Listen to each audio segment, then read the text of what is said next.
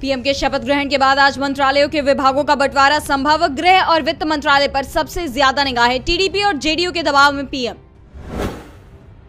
भूपेंद्र सिंह हुड्डा ने आज बुलाई कांग्रेस विधायक दल की बैठक। विधानसभा भंग कर चुनाव कराने पर होगी चर्चा। राज्य की बीजेपी सरकार अल्पमत में।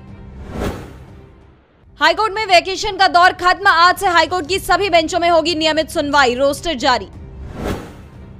हेमंत सोरेन की जमानत याचिका पर हाईकोर्ट में आज फिर सुनवाई। कोर्ट ने ईडी से 10 जून तक मांगा था जवाब।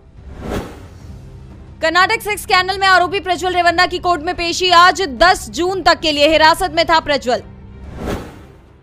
हमारे बारह की रिलीज़ पर बॉम्बे हाईकोर्ट ने लगाई रोक। मामले में सुनवाई आज। सीबीएफसी कर सकता है फ़िल्म में काटछांट।